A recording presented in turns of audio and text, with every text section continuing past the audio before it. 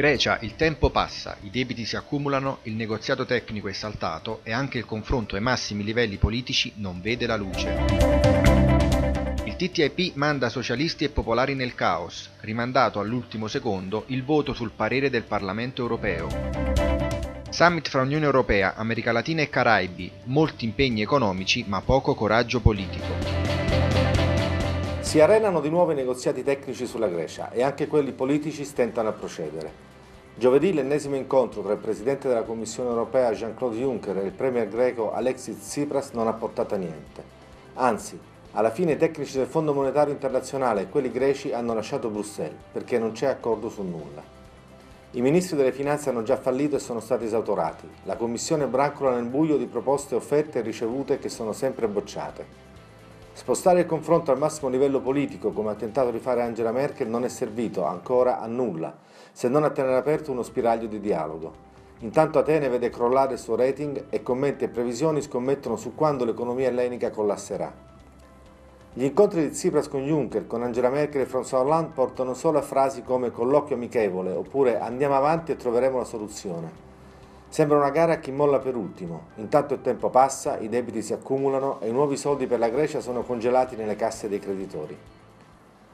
Portare il negoziato a livello politico vuol dire metterlo dove doveva essere e dove il governo greco voleva. Però la quadra non si trova ancora e anche nelle cancellerie europee non si naviga in acque tranquille, vista la crescente insoddisfazione di molti esponenti della maggioranza di governo in Germania per come Angela Merkel sta conducendo i negoziati, spinta anche dagli Stati Uniti a trovare una soluzione in tempi rapidi che permetta ad Atene di restare nell'euro e di avere il fiato per ripartire, nell'interesse suo, dell'Eurozona, dell'Europa e anche degli alleati americani. Mesi di trattative, riunioni, discussioni e votazioni per poi arrivare a un nulla di fatto. Il Parlamento di Strasburgo ha deciso all'ultimo secondo di sospendere il voto in plenaria sul TTIP, il trattato di libero scambio tra Stati Uniti ed Europa. Il motivo le divisioni, soprattutto all'interno del PSE, sulla questione dell'ISDS, gli arbitrati tra investitori stranieri e Stato. Nella relazione scritta dalla socialista Lange e votata in commissione la settimana scorsa, la loro abolizione, come concordato con i popolari, non veniva esplicitamente auspicata, ma le proteste all'interno degli stessi socialisti, che si sono spaccati in due, hanno costretto Lange a proporre un emendamento alla propria relazione. The outcome of the intercommittee is crystal clear that private ISDS arbitration is dead.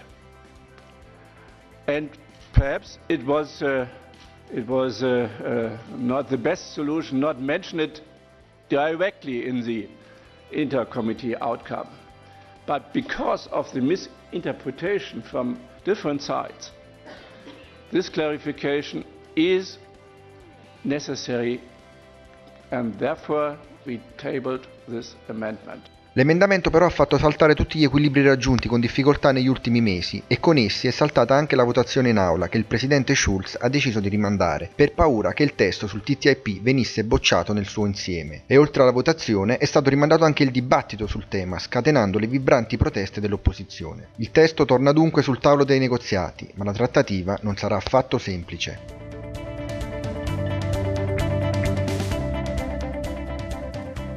61 delegazioni, fra cui una quarantina di capi di Stato, in rappresentanza di più di un miliardo di persone.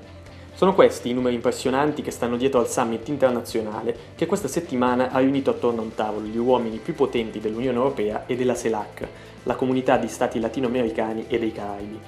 Mentre a Strasburgo il Parlamento europeo si spaccava a causa del TTIP, il partenariato commerciale con gli Stati Uniti, a Bruxelles si è cercato di affermare che dall'altra parte dell'Atlantico il mondo non è solo a stelle e strisce.